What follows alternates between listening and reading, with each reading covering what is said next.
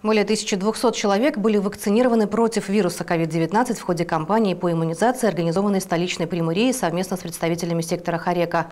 Каждые выходные на протяжении полутора месяцев те, кто ставил прививку, получал ваучер на посещение нескольких ресторанов и кафе.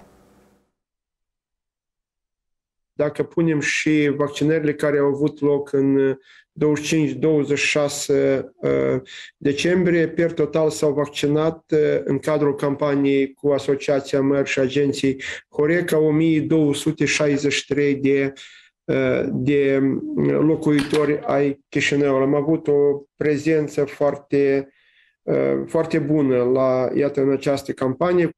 В Кишиневе пока сохраняется желтый код эпидемопасности. Rămânem în continuare în codul de alertă, codul galben. La ziua de astăzi avem raportate în Chișinău 137.835